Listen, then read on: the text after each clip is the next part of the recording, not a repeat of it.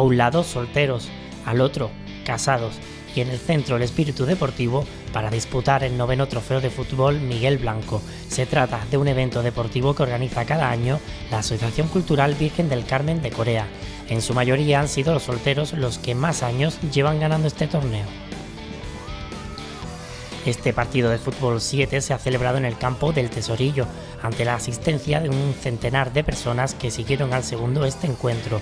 Tanto para el público como para los participantes del torneo ha habido refrescos, sangría y más de 800 bocadillos.